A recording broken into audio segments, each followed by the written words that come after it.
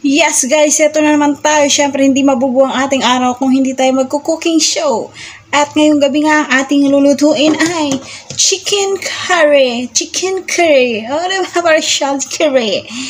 And ito ang ating mga sangkap. Manok, isang patatas, isang carrots, sibuyas, at saka bawang. At syempre, ang ating curry powder.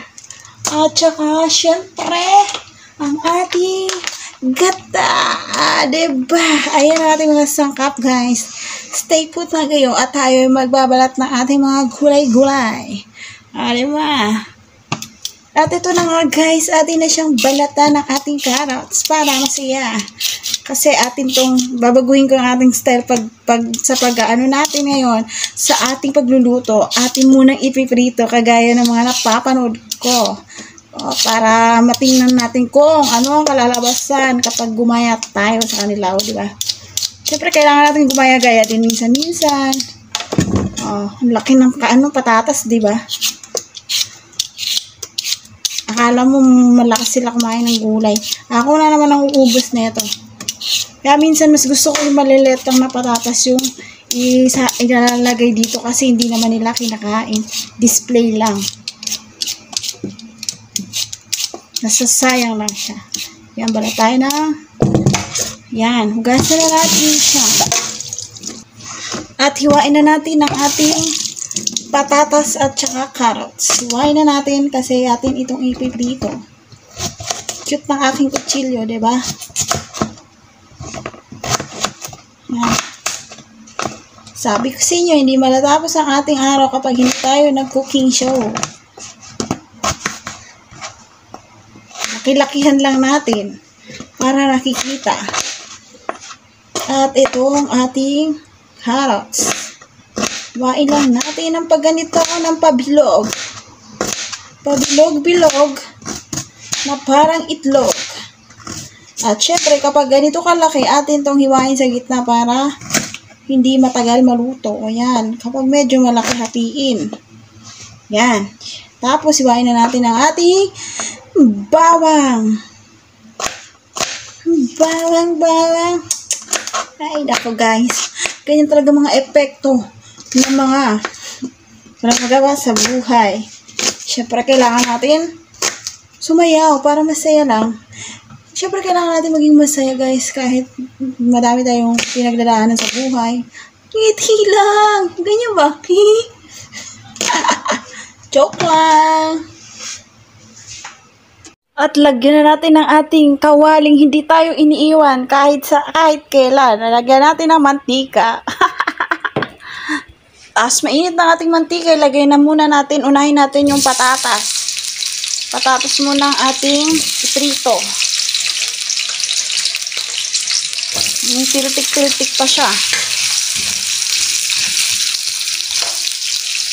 Natin muna itong iprito ang ating patatas.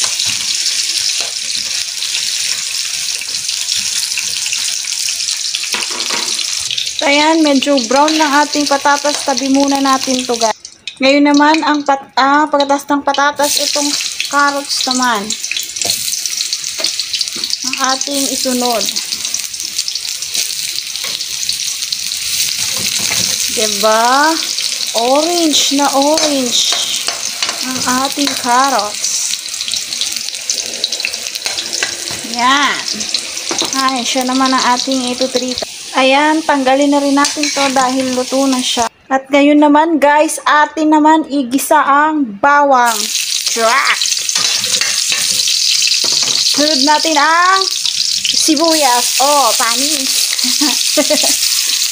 At atin na itong haluin. Oh. Yan, pumitiltik-tiltik pa, di ba guys? So, ayan. Kaya natin siya maging, ano, go medyo golden brown. Tapos lalagyan na rin natin ng manok. At sunod natin guys ang manok. Kaya na siya. Atin na halu-haluin. Halu-haluin. Medyo atin tong paano um, iprito konti. Yan. Kaya lang natin.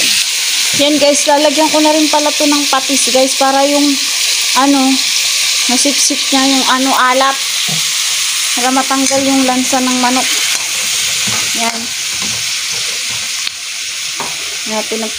Lagay na natin tong gata, guys. Yan.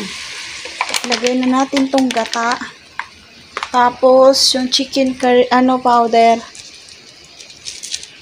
At syempre, halu-haluin natin.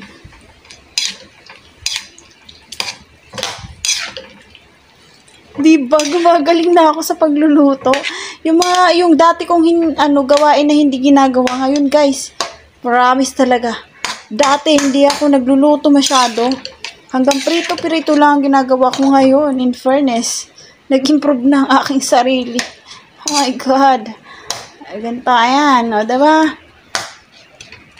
Yung chicken curry. Maya-maya na natin nilagay natin gulay. Tapos, lagyan na natin tong chicken cubes. And then, lagyan na natin tong ating gulay.